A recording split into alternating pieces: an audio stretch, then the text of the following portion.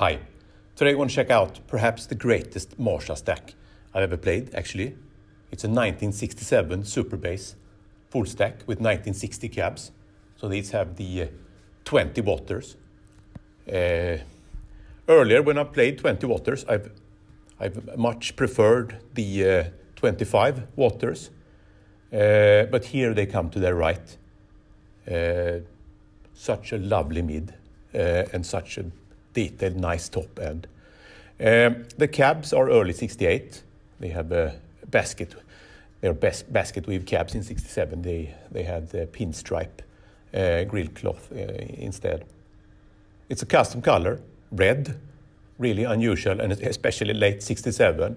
Custom color is really unusual. All right, I want to know what you think. Let's go.